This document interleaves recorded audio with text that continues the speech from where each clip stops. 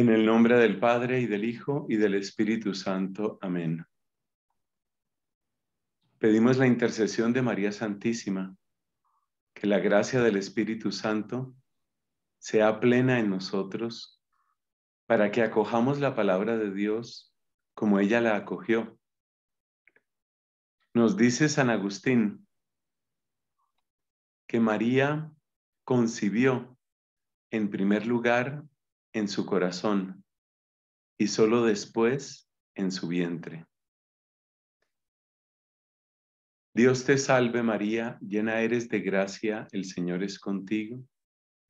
Bendita tú eres entre todas las mujeres, y bendito es el fruto de tu vientre, Jesús. Santa María, Madre de Dios, ruega por nosotros pecadores, ahora y en la hora de nuestra muerte. Amén. En el nombre del Padre y del Hijo y del Espíritu Santo. Amén. Bueno, con mucha alegría nos acercamos a la palabra de Dios, pero hoy tenemos esta reflexión siguiendo el ejemplo, siguiendo las huellas de Santa Catalina, de Santa Rosa de Lima. He querido darle ese título breve la Biblia con ojos de mujer. Nuestra charla va a tener tres partes. Primero, nos hacemos una pregunta sobre si hay una mirada específicamente femenina a la palabra de Dios. En segundo lugar, vamos a recordar una serie de momentos bíblicos que al verlos así juntos, indudablemente nos van a impactar. Y por último, nos vamos a referir a la parte de a la parte de Catalina y de Santa Rosa, sin olvidar que ellas em, vivieron en siglos diferentes, Catalina en el siglo XIV y Rosa de Lima en el siglo XVII, y que sin embargo hay una profunda relación porque Catalina pues fue una referencia, una gran referencia para, para Santa Rosa de Lima. Entonces empezamos, empezamos nuestro recorrido con la pregunta sobre si hay una mirada femenina a la palabra de Dios. Y lo primero que hay que aclarar es que ya desde el Génesis, la palabra de Dios se dirige tanto al hombre como a la mujer. Con esto, ¿qué quiero decir? Que nosotros no tenemos que buscar solamente versículos donde se mencione que la oyente es una mujer para decir, ahí está una mujer escuchando la palabra. Porque desde el libro del Génesis, desde el capítulo segundo, se nos muestra cómo Dios da su mandato al hombre y a la mujer y cómo Dios es el único creador tanto del hombre como de la mujer. Así que debemos interpretar el conjunto de la palabra de Dios debemos interpretarlo como dirigido a toda la humanidad y en concreto tanto a los hombres como a las mujeres. Por eso no nos extraña que tantas mujeres a lo largo de la historia hayan tenido una relación tan intensa con la palabra de Dios. Eh, quiero recordar aquí una santa de la que no hablaremos en extenso en esta ocasión, que es Santa Teresita, Santa Teresa del Niño Jesús. Ella sabemos que falleció muy joven, tendría unos 24 años o un poco menos cuando iba a morir. Y Teresita del Niño Jesús decía que anhelaba conocer más de las lenguas bíblicas, que quería conocer hebreo, que quería aprender griego. Era apasionada de la palabra de Dios. Teresita, lo mismo que muchas otras mujeres, tenía la convicción de que Dios quiere hablarnos a todos. Y es importante, repito, que no miremos la Biblia como un libro de varones donde las mujeres entran a ver qué pueden pescar, sino básicamente como palabra de Dios que se dirige a todos.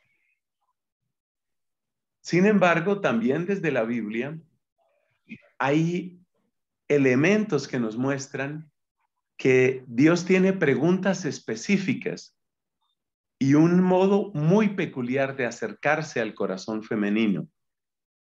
Entonces pongo aquí algunos ejemplos tomados de, de Génesis 3 y voy a mencionar después uno o dos que no aparecen en el Génesis, pero que son muy elocuentes. Cuando nuestros primeros padres, que según el relato bíblico tienen esos nombres de Adán y Eva, cuando ellos pecan, se rebelan contra Dios, desobedecen, Dios dirige una pregunta al varón y otra pregunta a la mujer. Y eso creo que tiene que ver con lo que comentamos de la mirada femenina. Lo que Dios le pregunta a Adán es, ¿dónde estás? Y lo que Dios le pregunta a Eva es, ¿qué has hecho? Me parece que hay una profundidad muy grande, muy grande en esto. Probablemente no alcanzamos a percibir toda esa profundidad. Pero el solo hecho de detectar que hay una pregunta diferente para el hombre y para la mujer nos invita a darnos cuenta que Dios nos habla a todos, pero que Dios también habla a cada uno. Y yo creo que Dios le pregunta a la mujer, le pregunta, ¿qué has hecho? A cada mujer, ¿qué has hecho? Quiero compartirles, así muy desde el corazón, porque esta pregunta me parece tan profunda y me parece tan bella? Dios puso en la mujer las fuentes de la vida. Como hemos comentado en otras oportunidades, hacer pecar a un hombre es hacer pecar a una persona. Llevar el pecado al corazón de la mujer es llevar el pecado a un hogar, a una familia, a una sociedad. De hecho, esa es la razón principal por la que la serpiente ataca en primer lugar a la mujer. Porque está convencido, el demonio bajo figura de serpiente, está convencido de que el daño que se hace a la mujer tiene una repercusión mucho más grande. Herir al hombre es como envenenar un vaso. Herir a la mujer en su fe, en su amor, en su esperanza, es como envenenar un pozo. Escribe esa frase que te conviene. Herir al hombre es como envenenar un vaso. Herir a la mujer en su fe, en su esperanza, en su amor, es como envenenar un pozo. Lo importante de esto es darnos cuenta que Dios ha querido que las fuentes de la vida estén en el corazón, en la palabra, en el amor, en el vientre de la mujer. Y por eso la mujer es siempre un comienzo de humanidad. De hecho, eso es lo que significa la palabra Eva. Es un comienzo de humanidad. La traducción usual es madre de todos los vivientes. Pues de algún modo toda mujer es Eva. Cada mujer lleva un universo posible en su corazón, en sus sueños, en su afecto. Tiene un universo posible. Y aquí es donde percibimos un poco la profundidad de la pregunta que Dios le hace a la mujer. ¿Qué has hecho? Es como si le preguntara, ¿cuál es el universo que surge de ti? porque de la mujer brota una humanidad, una sociedad, una familia, un hogar, un universo. ¿Qué están haciendo de ti? Es una reflexión muy interesante porque el mundo hoy quiere esterilizar a la mujer, no solamente en el sentido de que no tenga hijos, sino en el sentido, y esto es mucho más grave y es lo más importante, porque hay quien tiene vocación de hijos y hay quien no. Pero lo que el mundo quiere es que la mujer se centre sola en sí misma, solamente en sí misma. Es decir, es la negación rotunda del plan de Dios. El plan de Dios es la mujer fecunda que tiene las fuentes de la vida y de la que brota el universo. En cada mujer brota un universo. El plan del mundo es esterilizar a la mujer, es decir, ponerla a vivir solo para sí misma, para sus gustos, para su placer, para que se mire al espejo, se enamore de sí misma y no piense en nadie más. Entonces hay una palabra específica del hombre, de Dios hacia la mujer. ¿Qué has hecho? Y por eso, la mirada femenina hacia la palabra de Dios es como un retorno de esa pregunta. Es decir, la mujer mira a la palabra de Dios como la fuente de su propio ser, como el cauce de su propia vitalidad. Y esta mirada es la que aparece, por ejemplo, en Catalina de Siena. Observemos la expresión que utiliza Catalina. Hablándole a Dios le dice, tú eres el que es. Yo soy la que no soy. Es decir, todo lo que yo soy proviene de ti. Esta es la fuente creada, que es la mujer, mirando hacia la fuente increada, que es Dios, único creador de todos. Entonces, sí podemos responder que hay una mirada femenina hacia la palabra de Dios. Y es la mirada que nos mostrará Catalina. Tú eres el que es. En la medida en que la mujer se vuelve hacia Dios como su creador, como su fuente, en esa medida se libra de idolatrar sus propios gustos, sus propios placeres, sus propios caprichos y atención, se libera también de idolatrar al varón. Alguna vez me decía una chica, en una confesión me decía, Padre, lo que pasa conmigo es que yo soy hombre dependiente. El caso de esta mujer era que no se concebía sin novio, sin pareja terminaba una relación y le entraba una angustia, perdónenme la comparación, como un adicto, como una adicta en este caso. Necesito mi dosis de, de varón para sentirme mujer. La expresión de Catalina, tú eres el que es, es perfecta para liberar al corazón femenino. En ese mismo pasaje de Génesis 3, hay otros tres pequeños elementos que conviene que mencionemos. Dios le advierte a la mujer, le advierte sobre el doloroso precio de ser fecunda. Le dice, tendrás dolor con cada uno de tus hijos. Muchas veces se ha interpretado eso solamente como el parto, el dolor que acompaña al parto, lo cual pues es verdad, pero va mucho más allá de eso.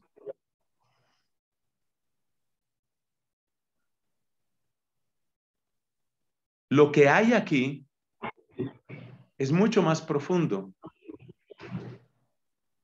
Lo que hay aquí es el dolor de ser fecunda.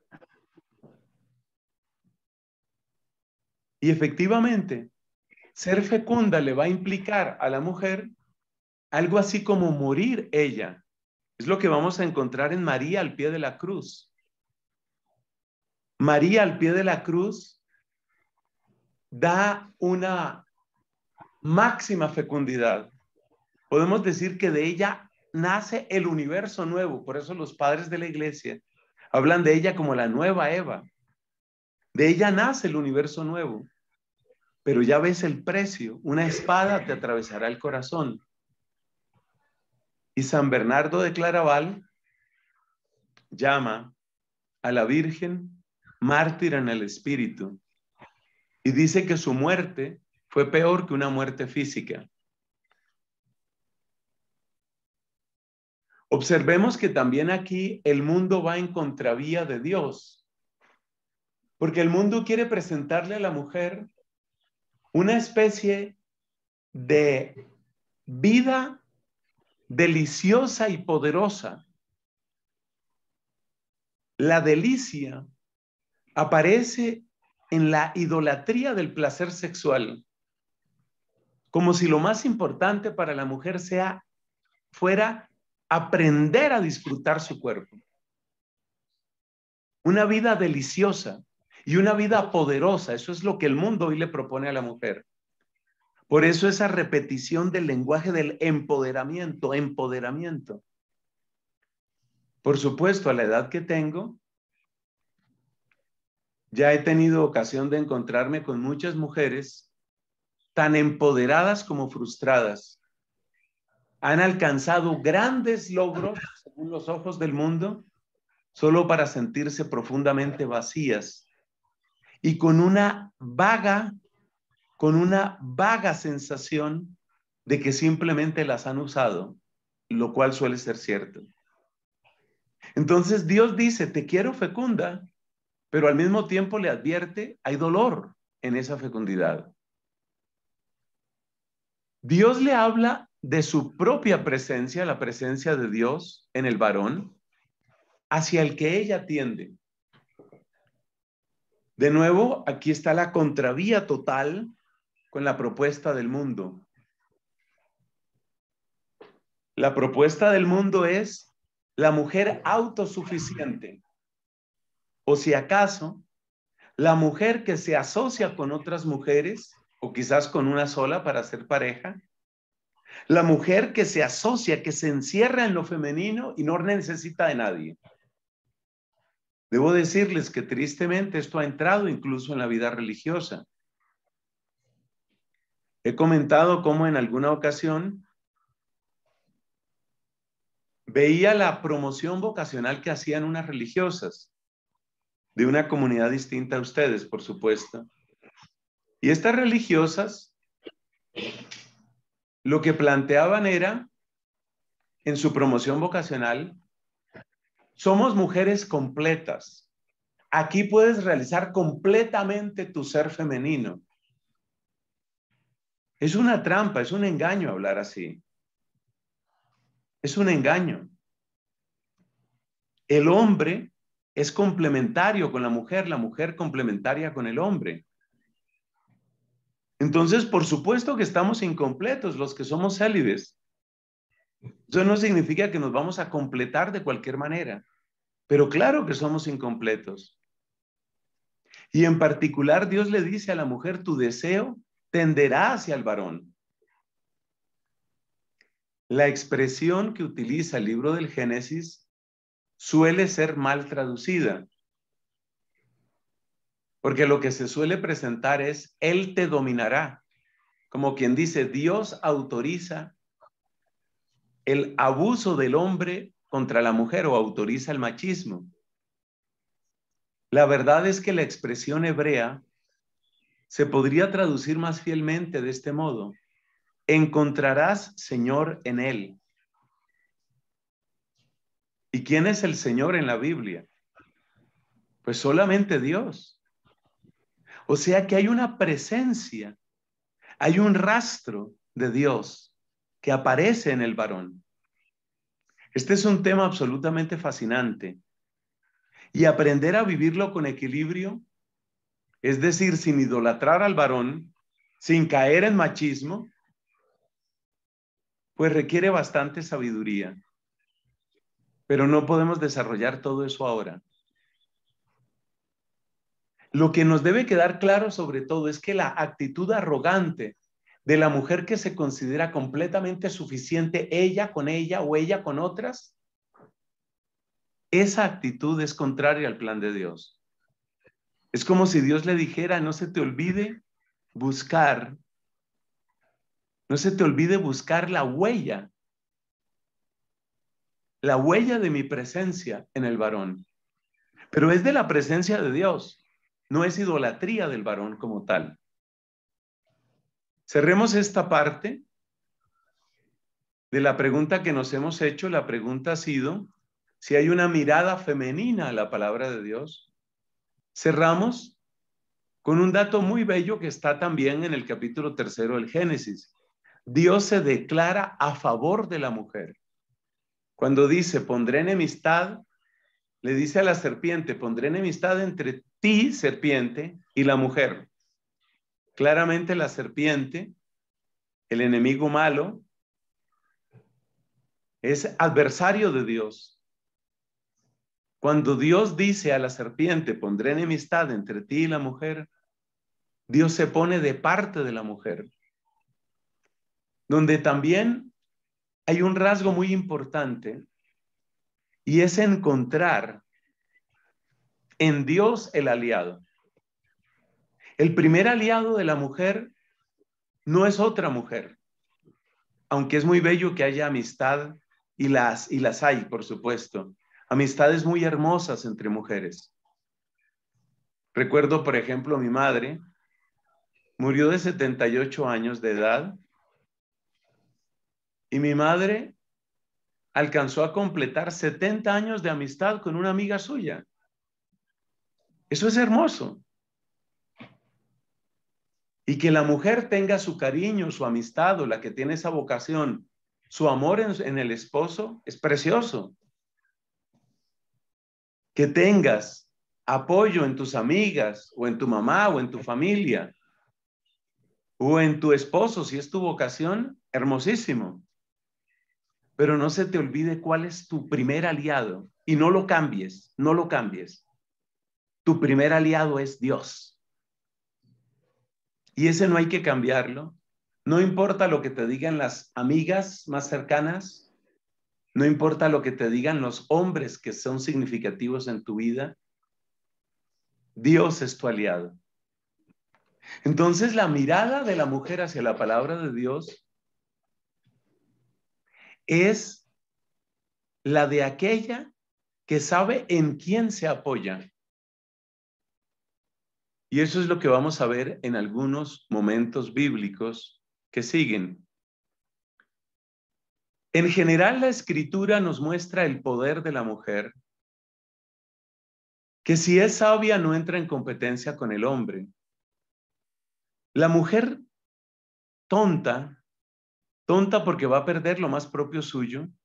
La mujer tonta se pone a competir con el hombre. Las mujeres sabias o incluso mujeres astutas jamás compiten con el hombre. La mujer tiene su propio poder. Este poder puede ser usado para el mal, como en el caso de Dalila y de otras mujeres. O puede ser usado para el bien. Entonces lo que vamos a encontrar aquí muy rápidamente es el testimonio de mujeres que tomaron en serio a Dios, que tomaron en serio que Dios era su aliado. Una mujer pone orden en el pueblo de Dios rebelde. Esa mujer que está en el libro de los jueces, la podemos llamar la jueza, Débora. Ella pone orden en el pueblo de Dios.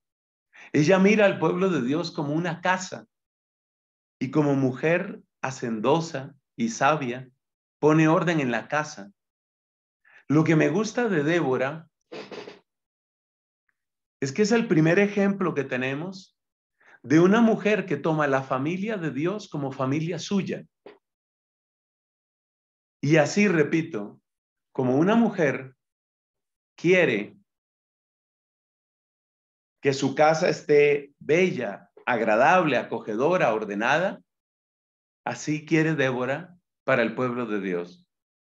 O sea que Débora en el libro de los jueces es un testimonio muy hermoso de lo que significa una mujer que hace suya la familia de Dios. Una mujer llamada Rahab o Rahab abre su casa a los exploradores de Israel cuando llegan a Jericó. Esta mujer no llevaba una vida ejemplar, ella era prostituta. Pero hay que tener en cuenta que en medio de su situación, y no se nos olvide que la prostitución en la inmensa mayoría de los casos es el fruto de la exclusión en contra de la mujer, esta mujer arriesga su vida, arriesga su vida por los exploradores de Israel. Es evidente que en ese momento los habitantes de Jericó veían a los israelitas como una amenaza, como un pueblo indeseable. Un pueblo indeseable. Pues bien, Débora percibe la novedad de Dios que viene con estos israelitas y les abre la casa. Eso lo tenemos a la altura del libro de Josué. Una mujer llamada Esther, que había sido educada en la fe en su familia, es la que viene a salvar al pueblo judío. Es muy hermosa la oración de Esther. Para sus ratos de meditación, vayan al libro de Esther y busquen esa oración, porque ahí tenemos el caso perfecto de una mujer que sabe que Dios es su aliado. Ella estaba rodeada de mujeres, rodeada de mujeres.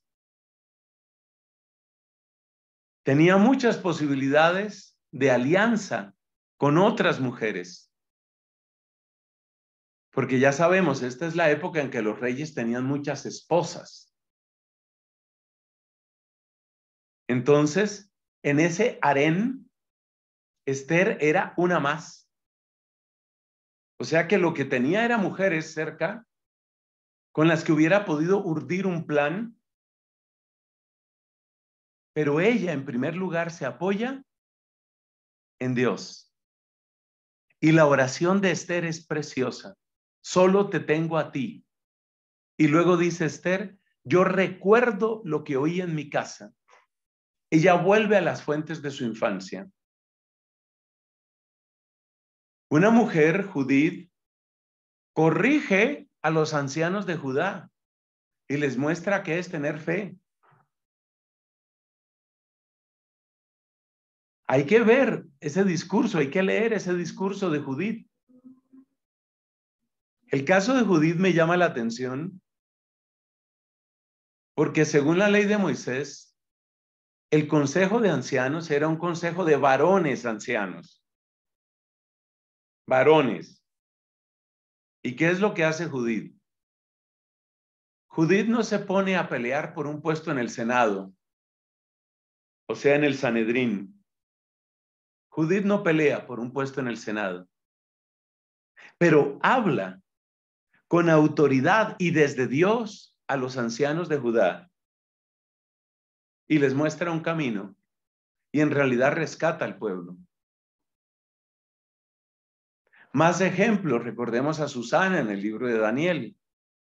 Una mujer que permanece fiel en su propósito de castidad, castidad de mujer casada, aunque le cueste la vida. Esto nos muestra algo muy interesante sobre la relación entre la mujer y la palabra de Dios. Mi experiencia es que en general las mujeres perciben más un hecho fundamental. ¿Cuál es ese hecho? Que la palabra de Dios, antes de ser palabra que pronuncio, tiene que ser palabra que vivo. Susana en el libro de Daniel no aparece como una predicadora, no es que esté mal, por supuesto, que la mujer hable, pero no aparece como una predicadora. Aparece como una mujer que encarna la palabra, la hace carne de su carne.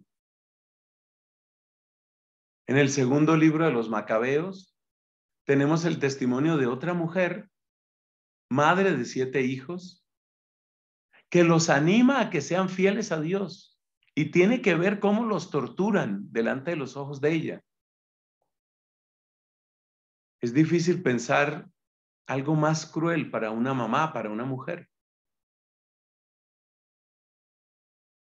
Entonces, ahí tienes una mujer que vive la fidelidad y que transmite la fidelidad. El vientre de esa mujer no solamente dio a luz hijos, sino que la fe de esa mujer dio a luz creyentes. Ya en el Nuevo Testamento, una mujer llamada Lidia abre las puertas del Evangelio en Europa después de escuchar la predicación de Pablo. Lidia oye a Pablo, se da cuenta que el mensaje de Pablo es muy importante y nos dice el evangelista San Lucas, nos obligó a quedarse, a quedarnos en su casa. Lidia le da tono de hogar, le da aire de familia a la vivencia del Evangelio. Y esto me hace recordar al muy conocido cardenal Pironio, que en una de sus oraciones a la Virgen le dice, tú evitas que el Evangelio se vuelva una ideología, porque el Evangelio se vuelve familia, se vuelve casa, en el corazón de Lidia, en el corazón de María Santísima, por supuesto, y en el corazón de toda santa mujer. Por eso Catalina de Siena forma una familia. La gente la llamaba mamá, mamá Caterina, mamá Caterina, mamá Catalina. La mujer hace realidad, la mujer vuelve realidad del Evangelio en su carne y en su entorno. No le interesa simplemente un conjunto de ideas bonitas, palabras elocuentes, poesía bien recitada. Ella quiere que eso se vuelva vida en su vida y en lo que a ella le rodea. Y Catalina trata a su gente así. Son muy frecuentes expresiones como esas en ella. Te escribo, le dice, te escribo, queridísima hija, en la preciosa sangre del Cordero. Este es el encabezado de varias de sus cartas. También a los varones, porque ella tenía hijos e hijas, les habla así. Te escribo, querido hijo, queriéndote ver firme, tal y tal cosa. O sea que Catalina hace verdad el Evangelio, abriendo espacio en su corazón para todos los que son de Cristo. El Evangelio la vuelve a ella una casa, una casa para recibir historias, lágrimas, dolores, sueños, posibilidades. Volvamos a la Biblia. San Lucas destaca que había mujeres, mujeres valientes y caritativas que acompañaban la misión de Cristo. Y para que no quede duda de lo que ellas hacían, dice el evangelista le ayudaban a Cristo con sus bienes. No eran simples espectadoras. O sea, una vez más se cumple lo que hemos dicho. Es decir, que la mujer se implica, la mujer hace vida a la palabra. Un salmo dice, tu palabra me da vida, tu palabra me da vida. Eso lo hace realidad particularmente la mujer. Pero casi que la mujer, casi que la mujer le da la vuelta. ¿En qué sentido? En el sentido de, tu palabra me da vida y yo quiero darle vida a tu palabra. Es decir, quiero que se haga vida. Entonces estas mujeres son valientes, caritativas, acompañan la misión de Cristo, le ayudan con sus bienes, están junto a su cruz y son las primeras testigos del Evangelio. Primeras testigos del Evangelio. Por supuesto, necesitaríamos toda una charla y más que eso para referirnos a María Santísima, a quien la Biblia llama bendita entre las mujeres.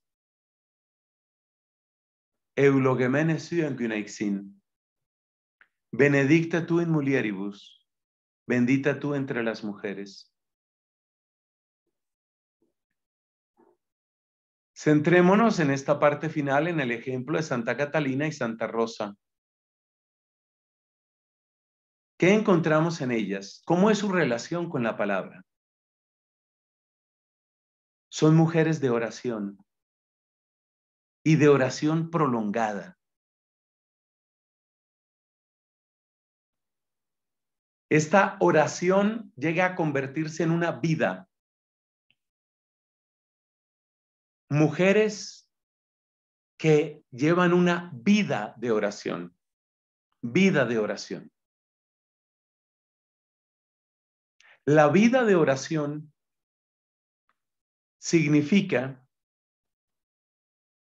ojos para leerlo todo desde Dios, oídos para filtrar quién me habla en esta conversación ¿Quién me habla? ¿Esto viene de mi Señor? ¿Esto viene del demonio? ¿Esto es espíritu del mundo? La vida de oración se convierte como en un escudo en ellas.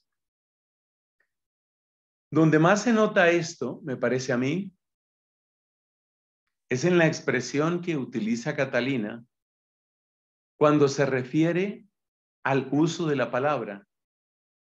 Dice ella, la palabra, la palabra, o sea, la, capacidad de hablar, la dio Dios para tres cosas. Para alabarle, para confesar nuestros pecados y para hacerle bien al prójimo. Fíjate cómo la oración envuelve de tal manera la vida de Catalina que ella siente que si una conversación va a romper la oración, es decir, va a romper la conexión con Dios, esa conversación no se debe tener. Esto es vivir en la presencia de Dios. Por eso son mujeres de silencio, de meditación. De Rosa de Lima se recuerda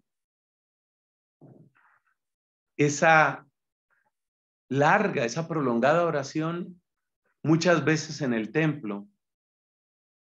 Y algo muy bello,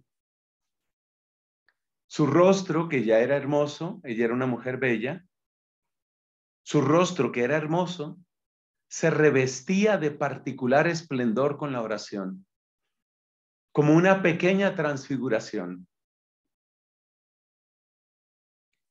Entonces, ¿qué hay en esa oración? ¿Qué hay en ese silencio? ¿Qué hay en esa meditación? Lo que hay es Dios hablando. Dios me está hablando. Y lo que pretenda interrumpir esa conexión, ese puente, esa relación con Dios, sale de mi vida. En ambos casos, tanto en Rosa como en Catalina, vemos una relación personal con Cristo palabra en tres claves fundamentales. Él es mi Salvador, Él es mi Maestro él es mi esposo.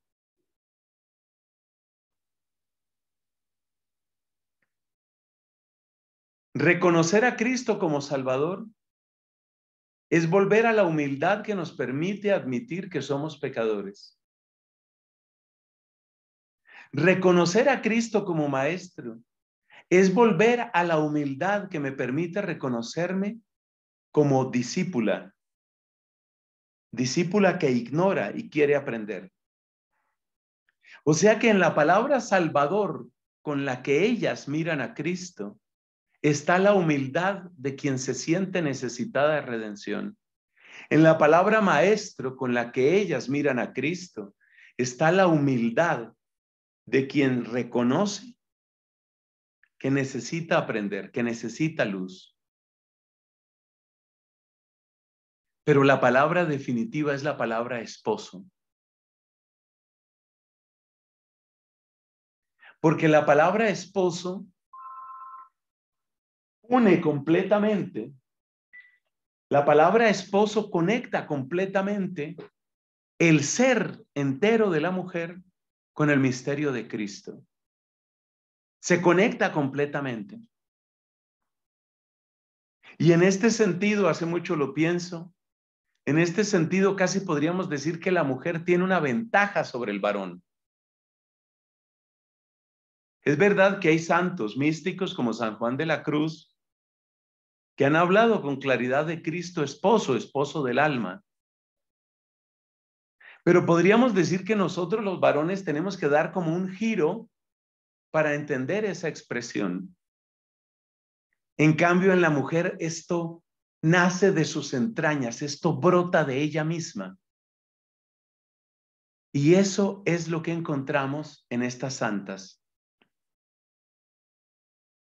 el considerarse esposa es absolutamente fundamental.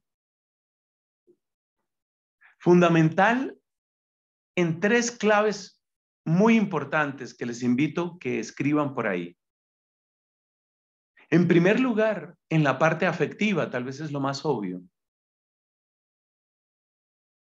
Si él es mi esposo, nadie reemplaza su lugar en mí ni mi familia, ni una amiga, ni unas amistades con algunos laicos, ni el conjunto de las hermanas, ni un amigo, ni un sacerdote, por importante que sea, nada reemplaza a mi esposo. Como buena mujer casada, Rosa, eso lo tiene clarísimo, nada reemplaza. Tanto en el caso de Rosa como en el caso de Catalina, Sabemos que hubo incluso pretendientes, gente que, que, las quería como mujeres. Es una gran defensa y es una fuente de equilibrio el saberse esposa. Es que yo no estoy disponible. Yo no estoy disponible. Yo ya soy de. Y por eso la palabra de él no es como palabra de cualquier otro. Yo no tengo oídos para una palabrita que me venga aquí a decir cosas porque ya mis oídos son para mi esposo. En segundo lugar, el sentirse esposa también le ayuda a tomar los intereses del esposo. Una buena mujer casada, lo sabemos todos, una buena mujer casada siempre es aquella que piensa en términos de nosotros, la familia, el equipo, la pareja, mi amado y yo. Entonces quiero estar con él y quiero, pues quiero que le vaya bien lo que él quiere. Hace poco, una pareja amiga que ha tenido muchas dificultades económicas, pues encontró una oportunidad, o mejor dicho, la oportunidad la encontró el esposo le salió una oportunidad de trabajo en otro país. Y alguien le preguntaba a esta mujer sobre el tema de, de ese otro país, pues porque ella tiene su trabajo aquí en Colombia. Y ella, sin pestañear y sin dudarlo, dice, mi vida está con él. O sea, de tener un trabajo en Colombia a no tener nada en ese otro país, no me importa, yo estoy con él me interesa que a él le vaya bien, porque si a él le va bien y estamos unidos, a todos nos va bien. Esa es la relación viva con Cristo. Y el tercer punto lo tengo aquí escrito. El tercer punto es este, que la relación esponsal les lleva a querer compartir la suerte de Cristo, estar con Él. Por eso se recuerda esta anécdota de Catalina de Siena. En una visión que le concede Dios, hay una corona de espinas y hay una corona de rosas. Y le dice Dios, escoge. Y entonces Catalina dice, sea en todo servido mi Señor y su voluntad. Pero si tengo que escoger yo, prefiero la de espinas me parece más segura. Hay un dicho que no es de mujer, sino de un santo dominico, San Luis Bertrán, que creo que viene aquí muy a punto. Refiriéndose a la metáfora de Cristo cabeza y nosotros su cuerpo,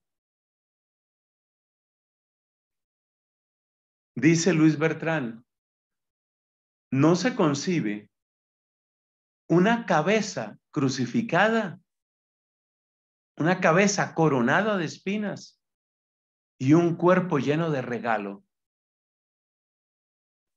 O sea, yo comparto la suerte de mi amado.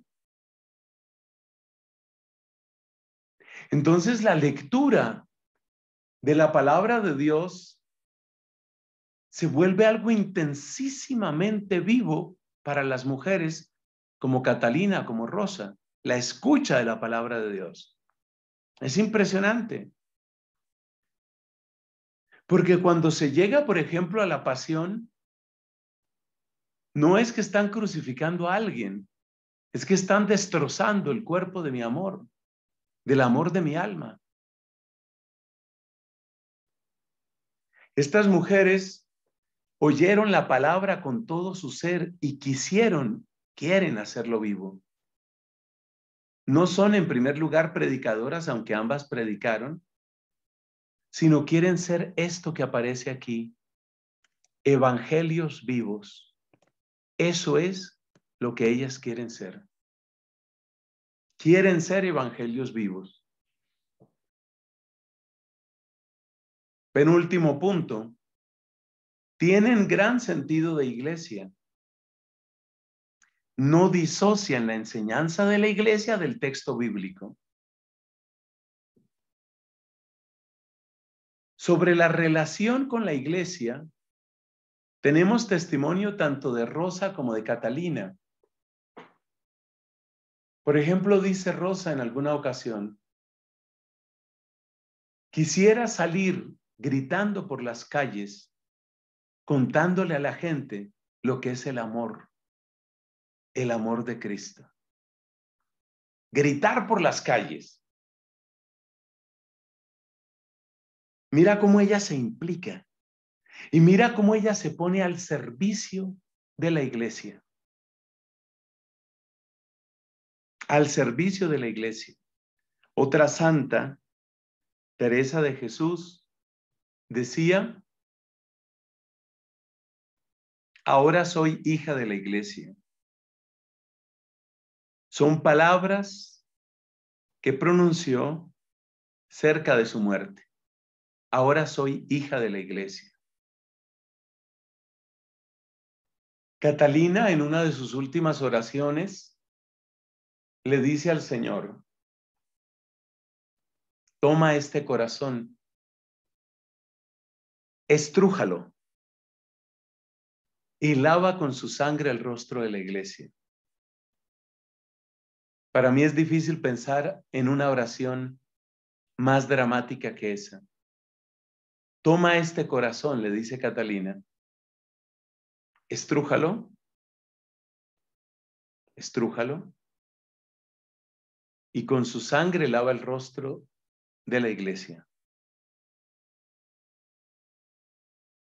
Ese sentido de iglesia también quiere decir que estas mujeres no separan la palabra de Dios que está presente en la Biblia de la palabra de Dios que se hace presente como signo de los tiempos, como rostro de los pobres o como enseñanza de la iglesia.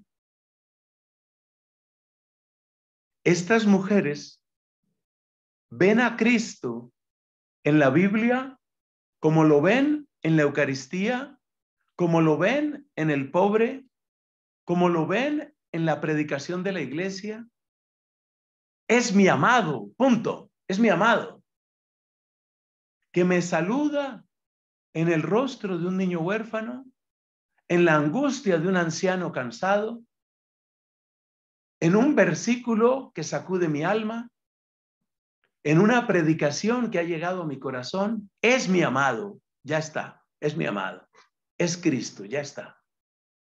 Eso lo dice todo y eso es suficiente. Esta relación que podemos llamar relación integral con la palabra de Dios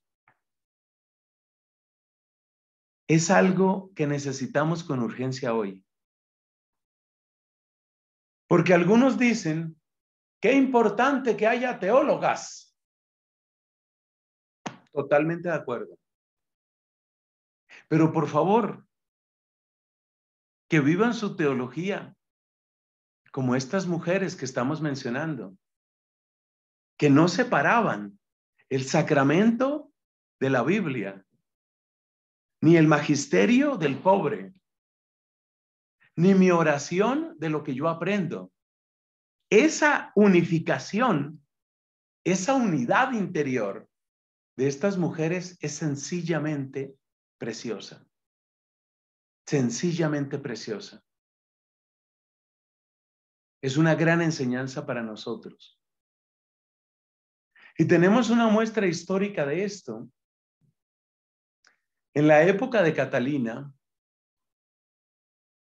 se predicaba mucho sobre la base de los escritos de San Agustín. Santo Tomás, por ejemplo, no era tan conocido en aquella época.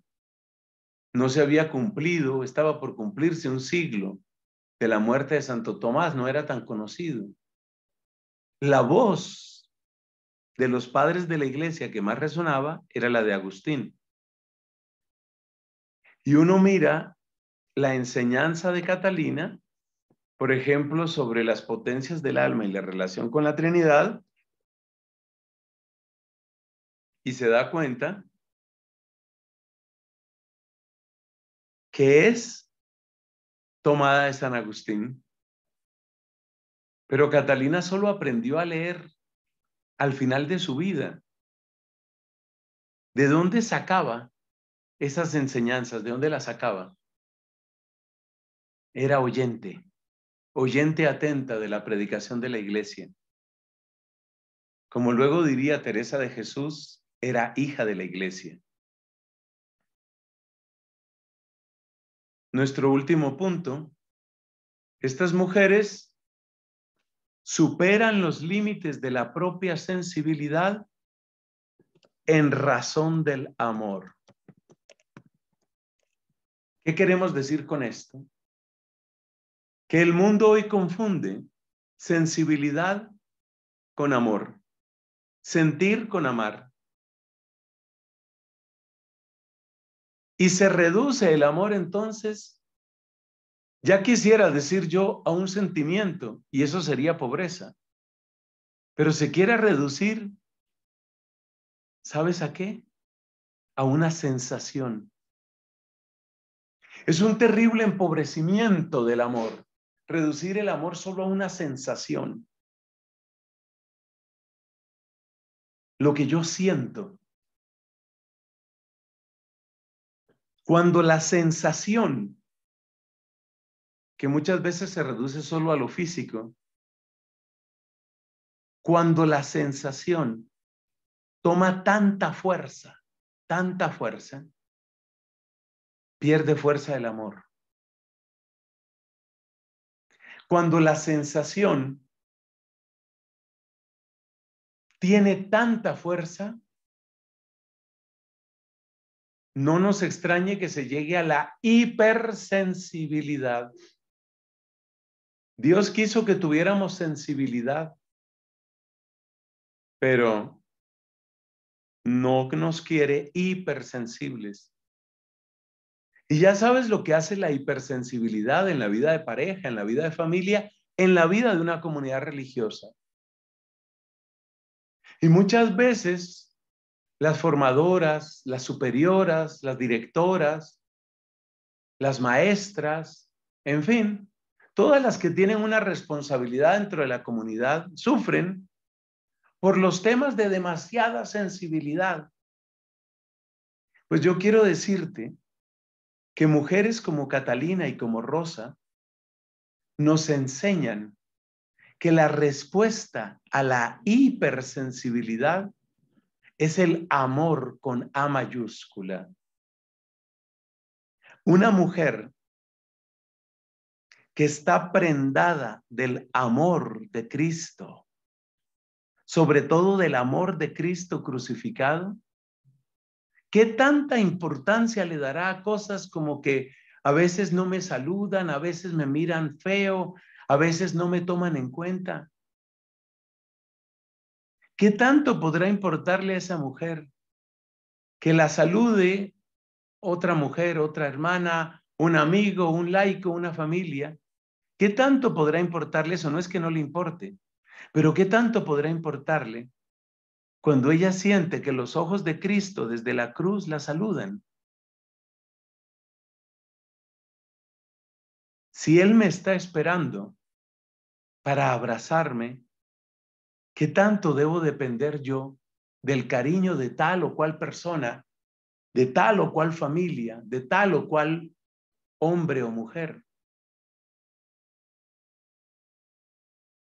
Entonces estas mujeres, como Catalina, como Rosa, eran mujeres colmadas de amor.